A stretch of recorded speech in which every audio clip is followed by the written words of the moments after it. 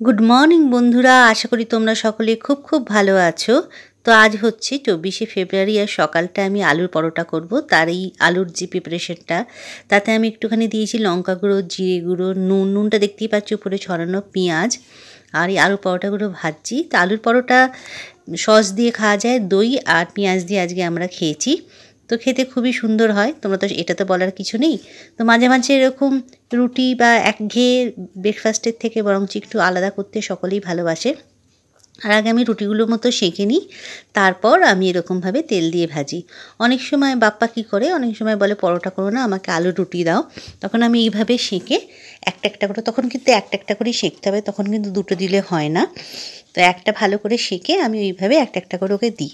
ও খায় হয়তো দুটো কি তিনটে, কিন্তু ওইভাবে একটা একটা করে তখন করতে হয়। আর যেহেতু এটা পরোটা বানাচ্ছি, তাই আমি এক পাশে চা বসিয়ে দিয়েছি আর এক পাশে পরোটা হচ্ছে।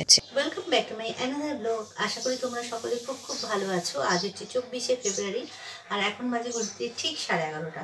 তো আজই সকালে করেছিলাম আলুর পরোটা, তোমাদের সঙ্গে শেয়ার করলাম। তো আলুর পরোটা আর সস দিয়ে হয়ে গেছিল আর টক দই ছিল, পেঁয়াজ ছিল।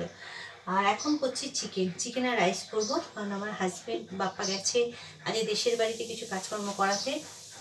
তো আজকে সকালবেলা ব্রেকফাস্টও করেনি, সকালেই বেরিয়ে গেছে নটার মধ্যে। আমার ব্রেকফাস্ট নটার মধ্যে হয়েও ওঠেনি আর কিছু দেরি হয়ে গেছিল পুজো করতে সব কিছু করতে। আর এখন রান্না করব তাই চিকেন আর রাইস কারণ আমরাই গেছি ছোটো মেয়ে স্কুলে চলে গেছে মেয়ে কোচিং চলে গেছে, তো এসে ওরা ভাত আর রাইস চিকেন খাবে। তো চিকেনটা একটু অন্য ধরনের আজকে ভাবছি করব, সেটাই তোমার সঙ্গে শেয়ার করছি। সেটা হচ্ছে দেখো চিকেনটাকে ধুয়েছি, ধুয়ে এটা কিন্তু আটা মেখেছিলাম, তাই আটা গায়ে লেগে আছে। তার মধ্যে ম্যারিনেট করে নিয়েছি নুন, আদা, রসুন, বাটা, লঙ্কা গুঁড়ো দিয়ে। আর এখানে আমি কেটে রেখেছি পেঁয়াজ, টমেটো, আদা, রসুন, বাটা। পেঁয়াজ বাটাও রয়েছে, টমেটো বাটাও রয়েছে, আদা, রসুন বাটাও রয়েছে। তো এখান থেকে আমি হাফ নিয়ে এখানে দিয়েছি আর হাফ আমি রান্নায় করব। তাকে ম্যারিনেট করে ওটাকে ভালো করে ভেজে নেব। ম্যারিনেট বলছি মানে অনেকক্ষণ ধরে রেখেছি তা না, জাস্ট ওটা মিক্সড আপ করব। মিক্সড আপ করে ওটাকে তেলে আগে ফার্স্ট ভেজে নেব। আর তারপর কীভাবে রেসিপিটা করি? সেটা তোমরা অবশ্যই দেখো, তাহলে শিখতে পারবে, জানতে পারবে। খুব ইজি রেসিপি হবে, আমার জানি তো খুব রান্না আমি বেশি লেন্দি কিছু করি না, খুব হালকার মধ্যে, অল্পের মধ্যে, যেটা আমাদের সকলের ঘরে অ্যাভেলেবেল সেসব জিনিস দিয়ে আমি রান্না করাই। রান্না তোমাদের, আমি যেটা করি সেটা তোমাদের সঙ্গে শেয়ার করি। তো চলো চিকেনটা এবার স্টার্ট করা যাক। তো আমি নিয়ে নিয়েছি সর্ষের তেল। সর্ষের তেল ভালো করে গরম হয়ে গেলে চিকেনগুলোকে আমি ভালো করে ভেজে নেব। একদম ডিপ ফ্রাই যাকে বলে ডিপ ফ্রাই করে নেব। তো হয়তো যতটা চিকেন আছে আমার একবারে হবে না। কড়াটা ছোট আর আমি ছোটো করে ইউজ করি যাতে মাজার সুবিধেও হয়। আর তারপরে আর এক দিলেই আমার হয়ে যাবে চিকেনটা তো মোটামুটি আটশো না নশো মতো মাংস আছে। এক কিলো পুরোটা নয়, আটশো নশো মতো মাংস ছিল। আজকে আর একদিকে ভাত বসিয়ে দিয়েছি। দেখো এরকমভাবে ড্রিপ ফ্রাই করতে হবে। ড্রিপ ফ্রাইয়ের পরে যে তেলটা থাকবে, তাতে আরেকটু আমি সাদা তেল অল্প দিয়েছি, সর্ষের তেলের পরে। আর তাতে দিয়ে দেবো শুকনো লঙ্কা, তেজপাতা, পেঁয়াজ, আদা রসুন বাটা আর টমেটোটা আমি দুটো দিয়েছি। যেহেতু নশো মাংস, তাই আমি হিসেব মতো দুটো টমেটো দিয়েছি।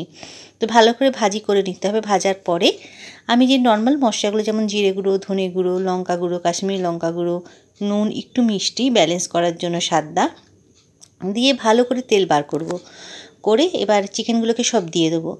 দিয়ে সেটাকেও ভালো করে মিক্সড আপ করব হ্যাঁ। আরেকটা ব্যাপার এখানে মশলা কষার সময় কিন্তু আমি একটু টক দইও দিয়েছি। টক দই না দিলে কিন্তু এই সুন্দর কড়াই চিকেনটা হয় না।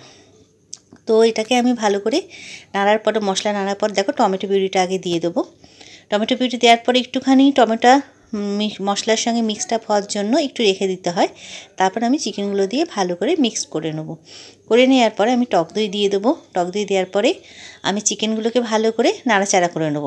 নাড়াচাড়া করার পরে আমি তাতে জল দিয়ে একটু সেদ্ধ করতে হবে, কারণ যতই ভাজো, তো যেহেতু কাই আমার দরকার, ভাত দিয়েও খাব রাত্রে যাতে আমি রুটি দিয়েও খেতে পারি কারণ একটুখানি জল দিতে হবে।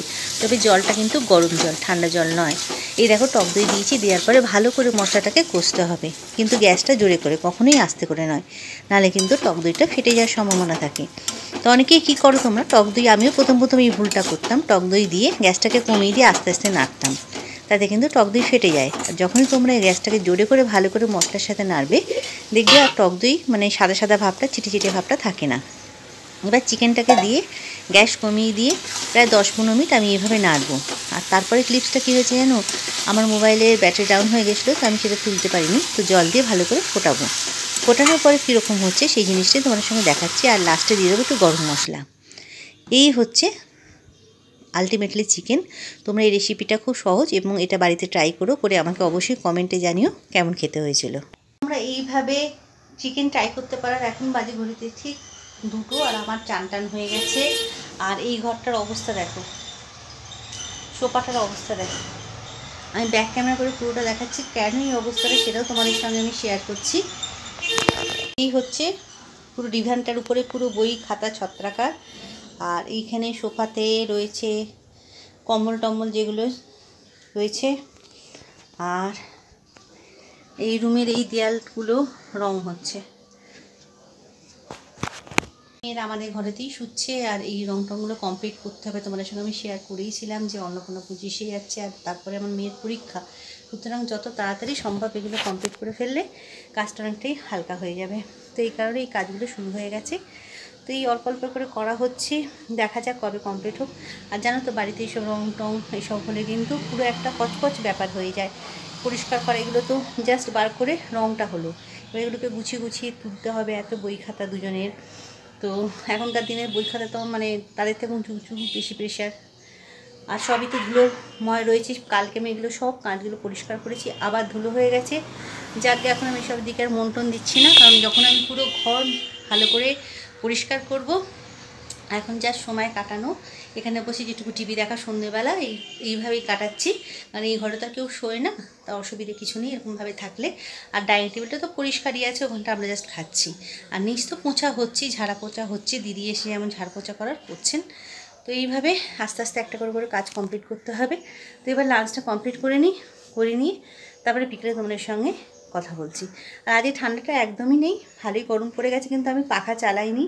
আবার অনেক সময় না ঘাম হচ্ছে, পাখা চালাতে হচ্ছে। যে ওয়েদারটা না মানে সিজন চেঞ্জ হলে যেটা হয় চেঞ্জেবল ওয়েদার হচ্ছে। আর তাতে আমার কিন্তু জিভে একটু ঘা হয়েছে।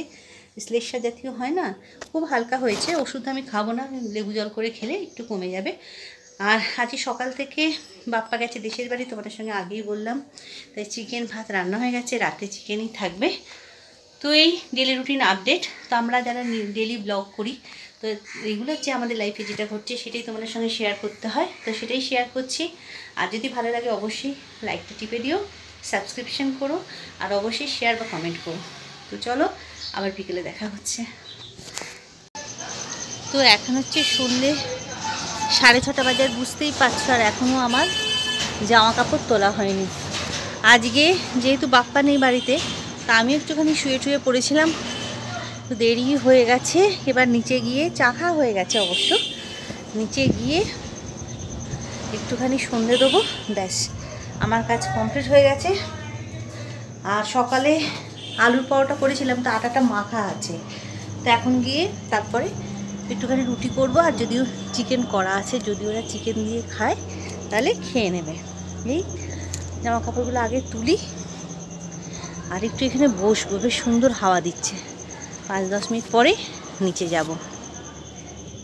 আর এইগুলো যেগুলো ভিজে ভিজে থাকে একটু, আমি এই ভেতরে যে দড়ি খাটানো থাকে সেখানে একটু মেলে দিই। আর এখন একটু দোল্লায় বসে দলি খাচ্ছি, আর ভালো লাগছে, বেশ সুন্দর একটা হালকা হালকা হাওয়া দিচ্ছে। বসন্তের এই হাওয়াটা লাগাতে বারণ করে, বাচ্চাদের বিশেষ করে, কিন্তু আমার কিন্তু লাগাতে বেশ ভালোই লাগছে। কারণ এই বিকেলবেলাটা না মানে হবে গরমটা পড়ছে, তবে এখনও পর্যন্ত আমি পাখা চালাইনি। তো দুপুরবেলাটা একটু গরম হচ্ছে, কিন্তু তাও আমি পাখাটা চালাইনি। আর অনেকেই পাখা চালাচ্ছে, আমার মেয়েরাও মাঝে মাঝে পাখা চালিয়ে ফেলছে। কিন্তু পাখাটা যদি এখন একটু অ্যাভয়েড করা যায় না, গরমটা পুরোটা পড়ে গেলে, তাহলে আর কোনো শরীর খারাপের কোনো সম্ভাবনা থাকে না। আর এখানে বেশ খুব সুন্দর লাগছে। আর চারপাশটা দেখো। আমাদের ছাদের এখানে একটা আলো আছে, ওখানে সুবিধা হয়, ছাদটা আলো আলো হয়। এইখানে আর একটা আলো আছে, সেই আলোটা কিন্তু মানে এই যে এখানে একটা দেখছ, এই পাশে সেম একটা আলো আছে, সিঁড়ির এই পাশটায়। কিন্তু সেটা মাঝে মাঝে জলে মাঝে মাঝে জলে না। অনেকক্ষণ এটা জ্বলার সময় ওটা আবার দপ করে জ্বলে ওঠে। তো ওটা ইলেকট্রিশিয়ান যখন এবার আসবে, আগে দেখাবো। কারণ গরমকালে অনেক সময় আমরা বিকেলবেলা ছাদে এসে এরকম করে বসি। আর অন্য বাড়িগুলোতে যখন আলো জ্বলছে, বেশ ভালো লাগছে, দেখো। আর উঁচু উঁচু বিল্ডিং যেগুলো ফ্ল্যাট বাড়ি, সেখানেও আলো জ্বলছে। তো এই সন্ধ্যেটাই কিন্তু বেশ ভালো মানে আরামদায়ক ছাদে বসার জন্য। আর এই তো গরমকাল, এসে গেলে শীতকালেতে ছাদে সন্ধ্যেবেলা ওঠার কোনো চান্সই থাকতো না। তো গরমকালটা পুরো চুটিয়ে আমরা এই ছাদটাকে অনুভব করব। ছাদ থেকে নেমে আমরা, আমি সোজা চলে এসেছি ঠাকুর ঘরে। তো ঠাকুর ঘরে সকালে যে আমি প্রদীপটা জ্বালিয়েছিলাম সেটা নামিয়ে দিলাম আর গোপালটাকে শুয়ে দিলাম। তো তোমাদের আগেও অনেকবার শেয়ার করেছি, যারা নতুন আসছো তাদেরকে আমি বলছি যে আমার গোপালটা কিন্তু এই পেতলের নয়, এটা কিন্তু কাঁচের গোপাল, এটা আমার হাজব্যান্ড এসেছিল, তো আমার বড় মেয়ে যখন ছোটো ছিল তখন থেকেই গোপালটা আমাদের ঠাকুর ঘরে রয়েছে। এরকম আমার হাজব্যান্ডের অনেক ঠাকুরই আমার উপরে, যেমন গণেশ ঠাকুর আছে, সরস্বতী ঠাকুর যেটা আমি সরস্বতী পুজোর সময় ব্যবহার করি। তো সন্ধেবেলা আমি জাস্ট ধূপ দেখাবো, ঘণ্টা নাড়বো, আর নিজের গুরুমন্ত্র জপ করব। তো আমি আজকে তোমাদের আজকে সঙ্গে খুব ছোট্ট একটা ব্লগ তোমাদের শেয়ার করলাম। তো সন্ধেবেলা কী করি সেটাও তো তোমাদের জানার দরকার আছে, তো তাই সেটা আমি শেয়ার করলাম। যদি ভালো লাগে বলো, তাহলে আমি পুরো একদিন ইভিনিং রুটিনটা আমার দেবো। আর এরপরে আমি সোজা চলে গেছিলাম রুটি করতে, তো রুটি আটা মাখাই ছিল, তো সেই রুটি করে চিকেন দিয়ে আমাদের ডিনার কমপ্লিট হয়ে গেছিল। তো আমরা তাড়াতাড়ি ডিনার করি, তোমরা জানো, আটটা সাড়ে আটটার মধ্যে আমরা ডিনার করে নিই। আর এখন সন্ধ্যে ঠিক সাতটা বাজে। তো আমি একটুখানি বসেছিলাম, বসে টিভি টিভি দেখছিলাম। তারপর আমি সোজা ডিনার কমপ্লিট করেছি।